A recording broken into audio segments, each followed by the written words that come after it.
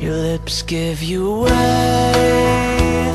I can hear it, a jet engine through the center of the storm, and I'm thinking I'd prefer not to be rescued. Why did this happen to us?